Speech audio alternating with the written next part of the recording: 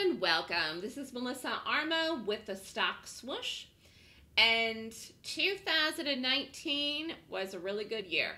The room is closed for the rest of the calendar year, so this is the year to date results for the Stock Swoosh Show live trading room calls for all of 2019 from January through December 2020. So Christmas is in the middle of the week and uh, New Year's Eve as well, so I'm closing the room for the rest of the year show the advanced trader tracking results for 2019 were 549,886. So it was a good year, and I'm going to go over what advanced risk is as well. Again, I do gaps, nothing but gaps, and mostly shorts. Although some of the trades that I called this year were longs, mostly we do the shorts. If you're interested in more information, you can email me at melissa at thestockswoosh.com or call me at 929 3200 GAP. You can follow me on Twitter, Facebook, YouTube, or Skype. Um, I usually post on there a lot of videos, webinars, and also my Fox News clips. So, earnings season is a great time to trade, and earnings season begins in January 2020. So, you have four quarterly earnings seasons, and those are the time when it's good to trade anything, anything at all, because that's the most of the time when the market has big moves and stocks have big moves. But the stocks that we look at, the stocks that I like to do, are companies that you would know of: Apple, Twitter, Facebook, things that you that you use, that you know the companies you're familiar with.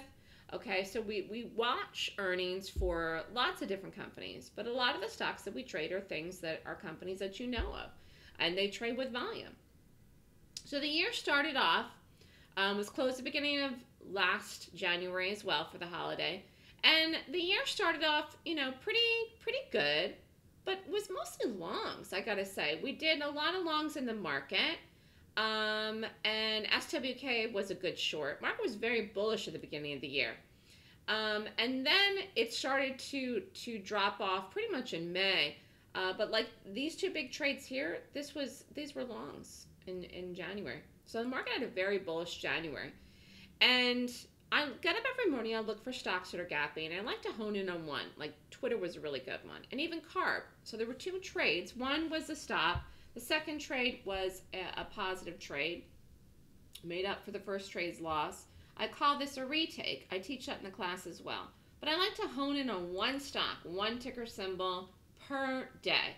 I find that's how I excel and it also helps me stay focused, especially trading with size. If you're gonna try to make, you know, three, four, five thousand dollars in a trade in just a day trade, you really got to be focused. And the size varies because the stop varies when I call the trades as well.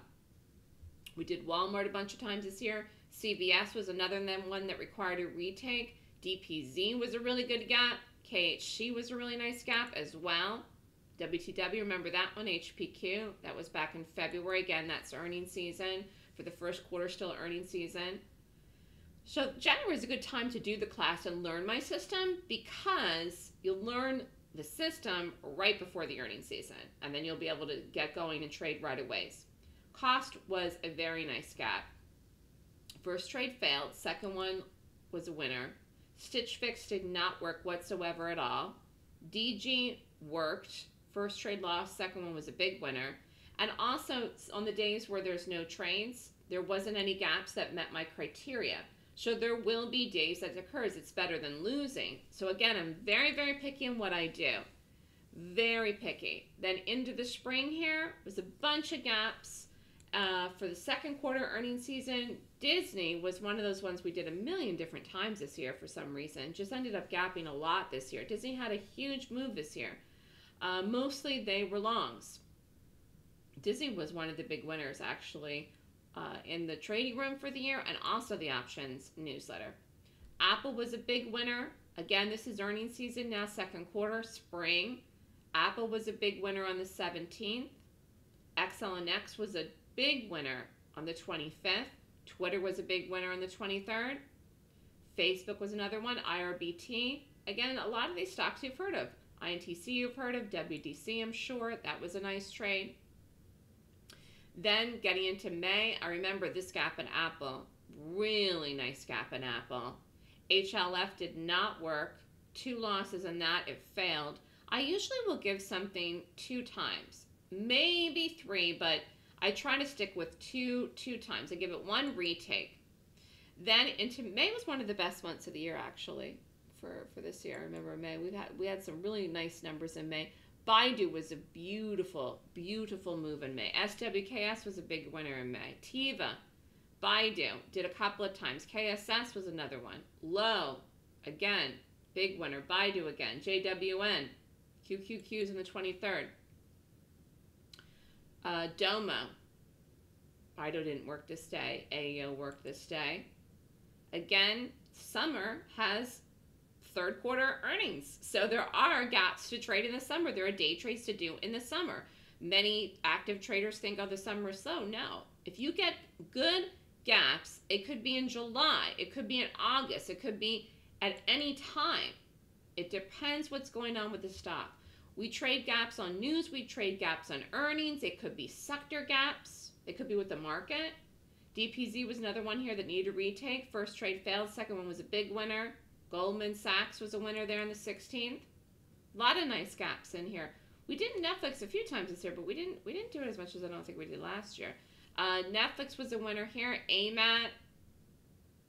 UPS was a big winner. Tut was a loser. Tesla was a big winner. Starbucks was a winner. We did that a bunch of times this year. T2 big winner. Nice gap UAA. And then into August, and again, this is third quarter earnings season. In August, we're picking and choosing what we're doing, trying to look for the good ones. That's what I do every morning, trying to hone it down. And one, if I can, if I see two good gaps, I might watch two things at the same time, but I try to just watch one if possible. And usually it's so clear. Foot Locker was a really good gap here. BMW. This day in here, the SPY just did not work right. Didn't work at all. Two losses in the SPY. First loss in Target. Second trade worked. So that was that was a day where retakes, two retakes. Ulta was a nice winner on the 30th. Looking back on the year again, FDX, done that a bunch of times. SPY again, traded the market a lot, a lot. And again, qualifying the gaps. If there's no trades, don't trade. There's no good gaps, I should say. Um, HPQ was a nice one. Netflix there on the 9th. W Day, beautiful gap on that one. Adobe, first trade failed. Second one was a winner. Goldman there again. J&J was a good one. UPS was a nice gap. MCD was huge, huge, huge, huge. Beautiful big move in that. That even followed through for the for the option. That just was a megalodon move for that stock. Really big winner on the 22nd. Kind of those kinds of days you you remember and you you learn a lot from those too because even that that that that put continued. But I mean again, that had a big move on that day, which was the 22nd. Twitter, big move Nice trade. Ime took two shots. BYND was just, did not work on the 29th. So this one, four times I grabbed this one and it did not work at all. Grub worked though that day. TXRH worked that day and a second trading Grub. But BYND has provided a lot of winners this year, mostly with the options letter, but just did not cooperate there on the 29th. Actually, I think it's fallen off ever since then. Uh, Yum, three nice winners on the 30th. Facebook was a winner on the 31st. Q's and the Spy again. Usually doing them in conjunction. There's MCD again. Then into November, again, fourth quarterly earnings season. There's still earnings in October November. Disney again, bunch of more trades in the market. Big trade in Disney on the 13th. Disney was one of those big winners this year. Cisco was a nice trade. AMOT was a nice trade and easy to trade too. M2 winners. HD was a winner. Target was a big winner. Low did not cooperate. Don't know why, but Target worked and Low didn't cooperate that day. Macy's did not work here. La-Z-Boy didn't work here. E-Trade worked here, and Foot Locker was a solid win in the 22nd. And then getting into the beginning of December, great start to December. Three nice winners, three big winners on the 6th of December in the market. And Apple, uh, what were some other ones in here? CVS was a winner. Netflix didn't work out on the 10th. Cost was a nice winner. Starbucks, the market, Oracle, the FDX from the 18th. And then a very active last two days in here, the 19th and the 20th. DRI, first trade stopped, and that went on to work, I didn't retake it.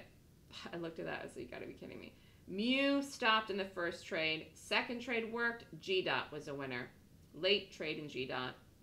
1220 was Apple. First trade failed. Second one worked as a scalp. Q's worked and KMX was the nice short on the 20th.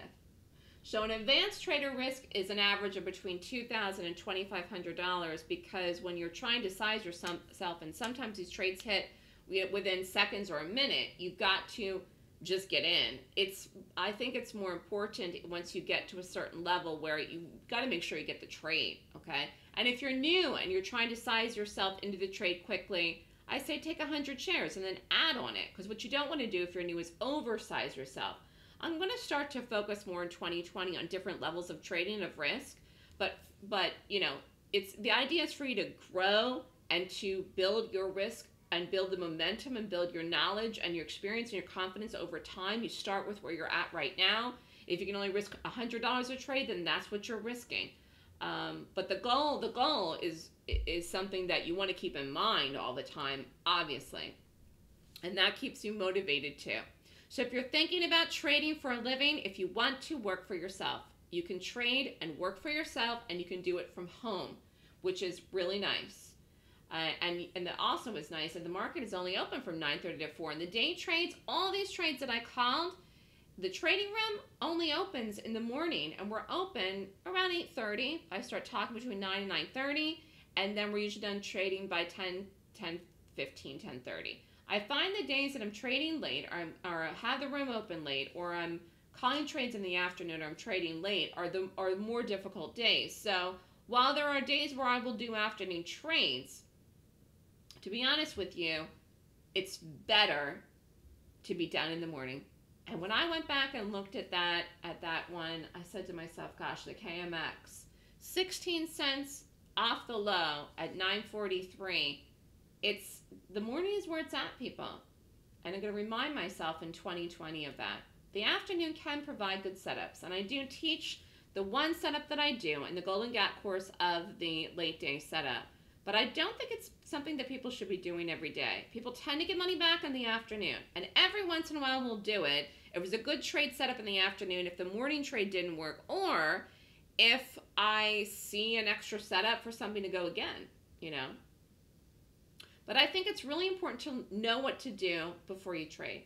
So, entrance into my live trading room where you would get all these calls, there's a requirement for that and a prerequisite, and is to take my class and learn my system. And the class is called the Golden Gap course. So, this is a prerequisite in order to join my trading room. The class is January 11th and 12th, 9 a.m. to 5 p.m. Eastern Time. Cost of the class is $64.99 US dollars. The class is online. You can be anywhere in the world and take it because it's online. I'm also doing the Trends course, which is January 14th. It's a combo deal. You save $500 if you do them both together, noon to 3, if you want to sign up for them both. And then I have an options newsletter subscription. If you're interested in the options trades, you can email me about those. $59.99 is the options newsletter.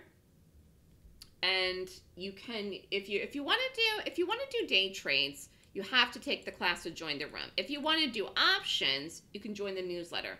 But you're not going to know the system unless you take the Golden Gap course. So I think it's very, very important to know the system in order to day trade accurately. And that is why I have the class. Go back here. That's why I have this class, the Golden Gap course. That's why this is a prerequisite to join the room.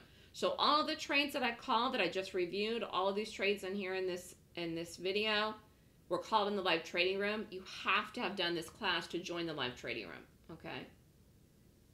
So any questions from anyone about anything at all, feel free to email me, feel free to call me. Uh, 2020 is right around the corner. You want to make a fresh start in 2020 if you did not have a good year. If 2019 was not a good year for you, then you're going to wipe it off and make a fresh start for 2020 set the tone, set the mindset for yourself to do well next year. In fact, set the tone right now. Take the take the positive energy right now, take it into the year. Take set the tone of what you desire and want with your trading for 2020. Have it in your mind. Imagine right now the money that you want to make, your goals for 2020. Take it right, right there. Take the energy right into the year. Don't even wait. Don't say, don't wait till January 1st or New Year's Eve or January 2nd. No, right now, right now, today. The sooner the better. Make a fresh start. Make a fresh start right now for yourself so you can have a positive year for 2020. If you're interested in learning a solid strategy and system, my Golden Gap course is it. What I do is very unique, and I have a, I, I'm, I'm very talented with what I do, and I have a great skill set. And so you learn the information in the class, and then you gain the skill set by being in the trading room with me and seeing how I analyze the gaps on a daily basis in the market. So email me if you'd like to sign up. Melissa at thestockswoosh.com. Have a great holiday, everyone.